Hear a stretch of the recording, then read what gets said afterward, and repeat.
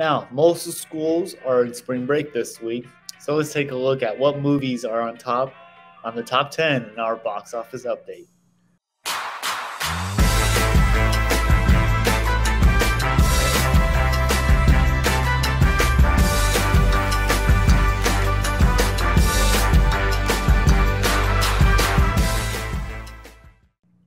At number one and brand new to the list, we have The Batman with 134 million. I just saw this movie last Friday and I'm a big nerd. I'm a big nerd on Batman and I it's one of my favorites so far. Next up, we have Arch at number 2, we have Uncharted with 11.1 million. At number 3, we have Dog with 6.1 million.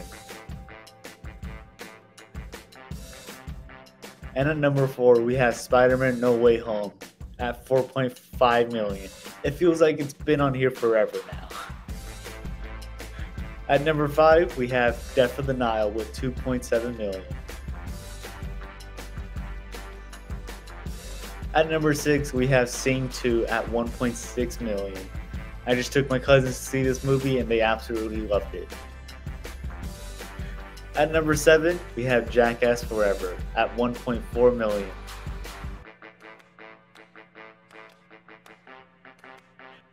Okay. At number eight, we have Cyrano with 678,783. At number nine, we have Gangubai Kathiawar with 592,000.